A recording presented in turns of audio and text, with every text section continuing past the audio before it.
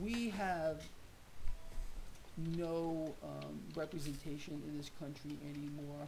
This is not the United States of America. This is the hub Hi. of the new world order. It's got as much Um, resources. and you can imagine that what you're seeing around Okay. you is going to get monumentally worse. Rushing Buccaneer, high risk. But again, there's opportunity here, people. There's opportunity despite the fact the games that they play with precious metals, the games that they even play with cryptos as well, um, the distortions in this market being created by artificially suppressed rates now since uh, 2008.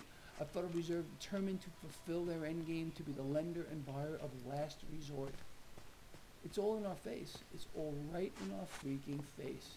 Anyway, it's crazy, absolutely nuts. Anyway, so uh, so that's the story. New record high for the market, despite an economy in absolute free fall, with no end in sight. Uh, uh, our debt to GDP ratio. is at nightmare purple marker. proportions right now, and that proves to you that our economy is contracting. If you look at the debt to GDP ratio, we're not growing at all. Zero. We are contracting. But you're not allowed to know that. All right, people. Look, I'm out of here. Very important video as usual. Lot, lot of stuff here we need to understand, to absorb, take in, and, and realize what we need to do about it. This blog is about putting this information together and acting on it. Okay? Love you a lot. I mean that. Please share this. I'll see you in the morning.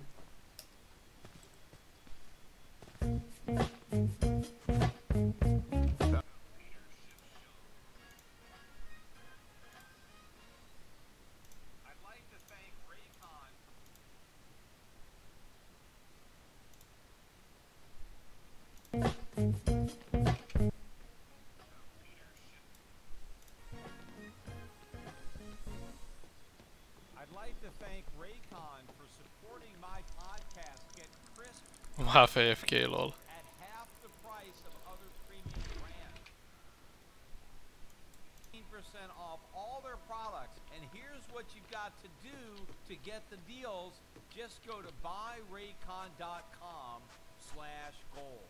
Well, S&P and the Dow Jones both closed in new record high territory today. Now, I think the catalyst Although, you know, I don't even think the market needs a catalyst to go up because it's riding a wave of cheap money. But the economic data points that I think provided a lift were the numbers that we got on the July CPI. Now, I've been talking about these CPI numbers all year. So far, we had six monthly numbers, and every The month fuck? exceeded expectations. In fact, sometimes that they weren't even within ended up topping even the highest estimate that anybody had. Well, this time we finally got a CPI number that did not beat the forecast. It came in exactly as expected. Now, this was one of the higher numbers that was expected. The expectation was for a 0.5% number. So I think month after month of coming in too low, the estimates were a little higher. In fact, they ranged from 0.4 to 0.6. Remember, last month we had 0.9. So 0.5 was still quite a bit below 0.9, but still a relatively high monthly number. Well, we got 0.5, and in fact, the year-over-year number, which was 5.4 last month and was expected to notch up to 5.5, that actually was a miss. We only got 5.4, so not quite as high as forecast. And then when you strip Hey. out food and Alright. energy, there there was actually a miss. No problem. The expectation was for a gain of 0.4, which followed left a eye 0.9 rise in June. In July, those prices only went up 0.3, which matched the low end of the estimate range, which went from 0.3 to 0.6. Year over year, I can give you my repeater. Pretty much exactly as Do you want it? 4.3, an improvement on the 4.5 from the month prior. So again, this No, number came own in in line with forecasts, in sharp contrast to all of the other inflation numbers that we've gotten this year that have come out way above what people had expected. Now, of course, pretty much every time Please, uh, no, use a inflation teleporter. Don't move us. year that was worse than expected, meaning more Yeah. inflation. The reaction in the gold market was that gold sold off because investors interpreted this Let's go to crack and everything else is looted. report card on inflation to mean that the Fed would have to be tighter Not than everything. everybody thought because inflation was a bigger threat than everybody thought. So ironically, gold was selling off. Well, same thing happened again as soon as this number came out and it wasn't worse than expected or maybe even a little bit cooler than expected. Gold immediately rallied and ended up closing about on the high of the day, up around $24. Still, gold is still at about 1752 following a sell-off that I talked about last week and also early this week, which I'll get into a bit later in the podcast. But for now, I just want to focus on the fact that gold rallied when inflation was not worse than expected and sold off when it was worse than expected. Again, why are we having this seemingly counterintuitive reaction Found it, when my gold sniper. as an inflation hedge? Why is it doing worse when there's more inflation to hedge? You would think it would do better. And again, it comes down to expectations. It is what investors expect the Fed to do in reaction to the hotter than expected inflation numbers. Again, everybody still This believes guy's fucking Fed, wasting our time. At least it's not that bad. that Please go to the Lunar. share of the investable money, they believe the Fed, and they're not worried about inflation, even though it's here. Let's go. Also, please join my Discord and my channel. Fed to fight. In fact, did. they're confident that Okay, but I'm in the voice chat. Inflation. They believe that they will battle inflation by tapering their asset purchases and eventually ending the asset purchases altogether, and by normalizing interest rates, raising rates from zero. And so, since the Fed is going to fight inflation, investors don't want to fight the Fed. That is an age-old Wall Street adage, don't fight the Fed. And if the Fed is going to be fighting inflation, well, you don't want to own gold because in that environment where you have the Fed tighten policy, everybody believes that that environment is bad for gold, and that's why the price of gold has been weak.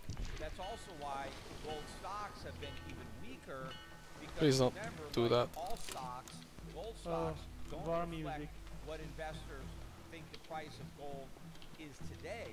Gold stocks reflect Ah, please give me the investors' wheels, Seati. for the price of gold in the future.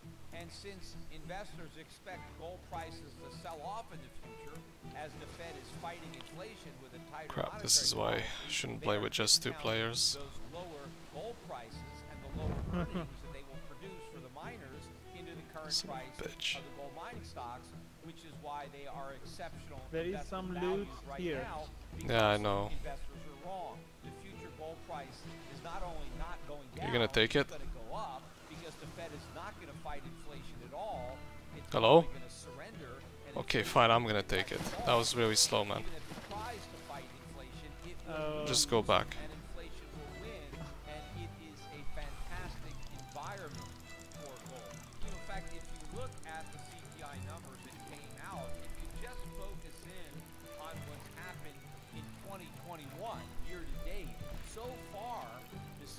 CPI is up 4.2 percent in the first seven months of the year. So the Fed said that they were going to shoot for inflation that was Man the sails. slightly above 2%. Well, we're already at 4.2%. That's not slightly above 2%. That's more than double 2%. I mean, the Fed never really defined what it meant by an inflation that is slightly above 2%. I mean, what is that? 2.1, 2.2? I mean, yeah, that would be slightly above 2%. 2.5%? Would that be slightly above? I don't know. I mean, 2.5 is closer to 3 than it is two, I'm not even sure if that would have counted as slightly above. But maybe they could have gotten away with two and a half. But certainly anything above two and a half wouldn't be described as slightly. But clearly, north of Jump and take this. already double percent. Alright, we got a fort. We did it in seven months. There is five more months to go in this year. And in fact, if you annualize the first seven months of the year, Please spot the chest in the front. This pace is what we get for the next five. We're going to have 7.2% inflation. in Okay, uh, do you want a repeater or, or the small gun? It's more than triple two percent. I mean, it's getting close to quadruple. And in fact, I the can give you numbers my would pistol. actually be a lot worse. I didn't hear your answer. Oh, okay, okay. Now, I keep reading stuff on the internet in articles that are being written, trying to go out of their way to remind everybody. Just uh, repair nowhere repair the front. near The inflation rates of the 1970s. Okay, prepare to take this chest coming in up.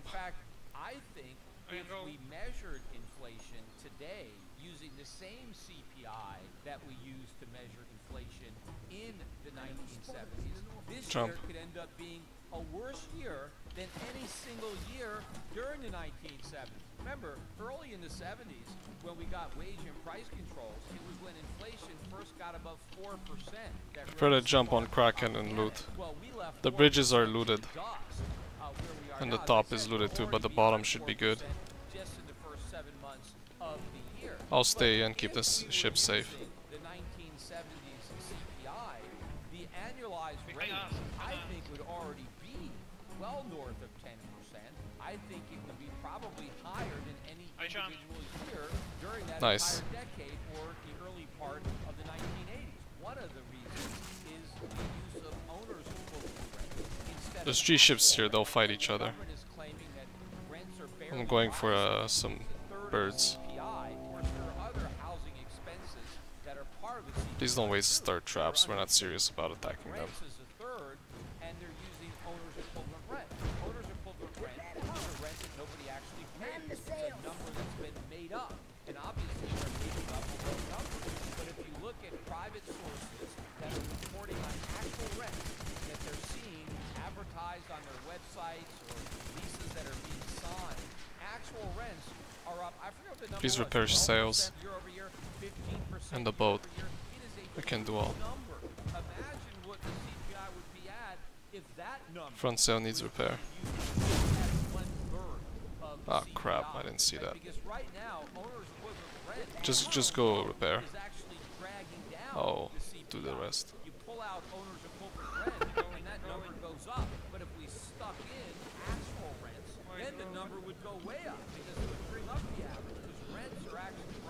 Yeah, just keep doing the pump. overall CPI in real terms.